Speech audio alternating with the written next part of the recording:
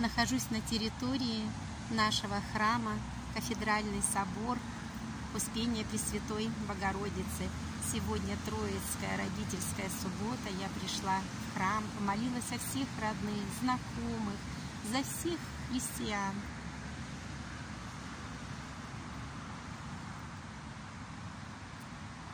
Чтобы Господь упокоил души даровал Царствие Небесное.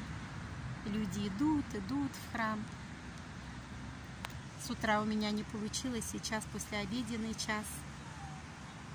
вот вышла из храма и совсем не хочется. Вот просто в суету, в город, присела на скамеечку. Вот такое небо у нас, и дождик поливает, и дождь вместе с солнышком был на крыльце у входа храма. Люди стояли ждали мы, когда же дождичек закончится. Зелень такая свежая, небушка серенькая. Вот так. В храме находилась, благодать такая. Ну вот. Идут люди, идут. Голуби тут территория храма. Оп, и гром гремит. Гремит. Сейчас надо уже убегать где-то под крышу, спрятаться. Посмотрите, какой красивый наш храм. Историю этого храма я уже неоднократно рассказывала в своих видео показывала его, со всех сторон обходила и внутри показывала.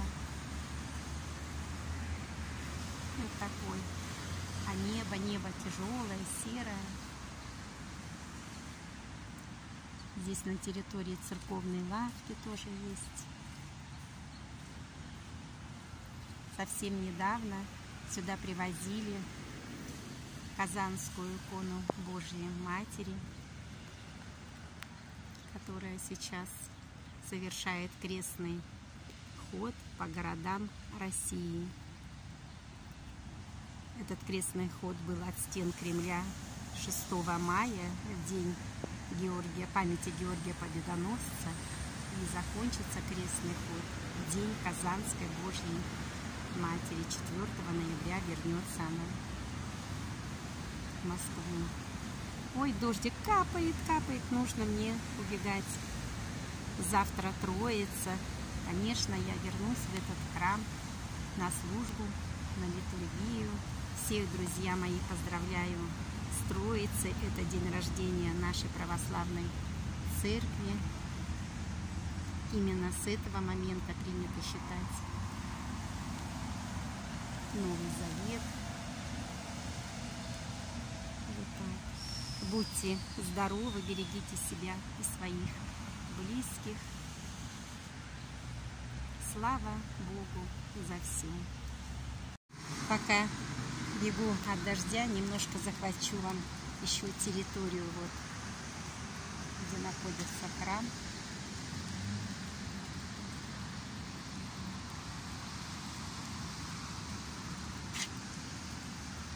царе освободителю вот такой поставили. Смотрите, вот дорожки такие. Со всех сторон к этому храму можно подъехать.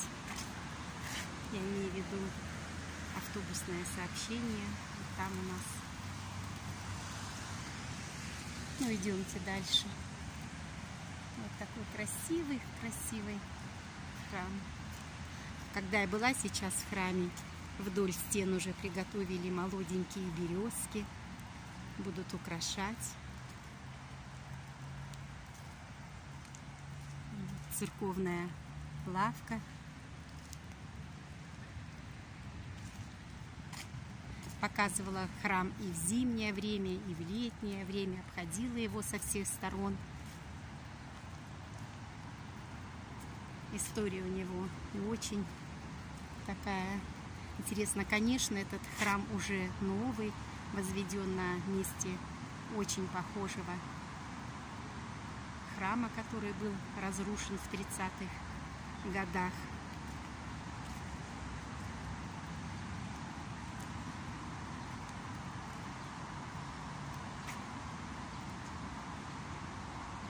И наш храм Пресвятой Богородицы, он построен по проекту храма Спаса на Крови, что в Петербурге.